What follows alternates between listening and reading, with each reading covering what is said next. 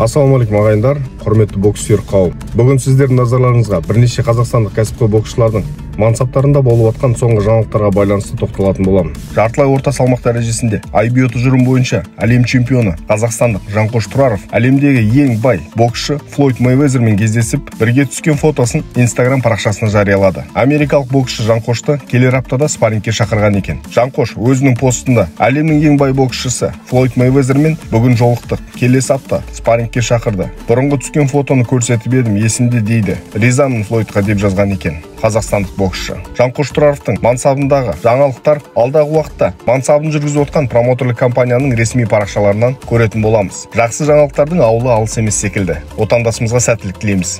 Ал британиялық журналист бен смит вести kz тілшісіне берген сұхбатында орта салмақта WBO тұжырымы бойынша әлем чемпионы жәнібек әлімханұлының карьерасына қатысты пікір білдірді. Соңғы рет жәнібек мамыр айында ақшта жұдырықтасып канадалық стивен батлерді екінші раундта нокаутқа түсіріп чемпиондық атағын екінші мәрте қорғаған болатын. Әлімханұлына жаңа дағды меңгеру керек. Оған ұлыбританияға назар салуға кеңес берер едім.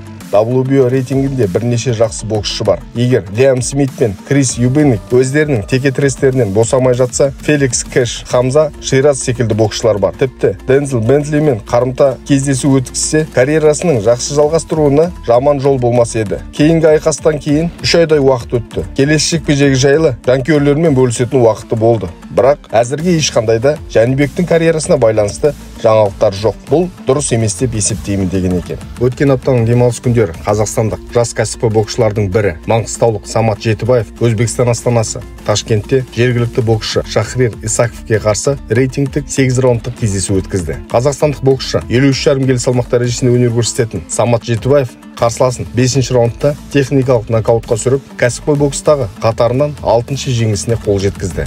Мінекей достар әзірге соңғы жаңалықтар барысы осындай. Сіздерге сіз білдіңіз ба? деген секілді рубриканы ұсынғым келіп отыр. Бүгінгі күнде аса ауыр салмақ дәрежесінде төрт престижді белбеудің үшеуінде иеленіп отырған яғни WBO, WBA, IBF тұжырымдары бойынша әлем чемпионы александр усик 66 келі салмақ дәрежесінде бұрынғы WBC тұжырымы бойынша әлем чемпионы америкалық шон портер яғни 66 келідегі боксшы мен аса ауыр салмақтағы чемпион бұрындары әуесқой бокста жолдары түйісіп сол кезде шон портер жеңіске жеткен болатын. Біліп жүрсеңіздер артық етпейді.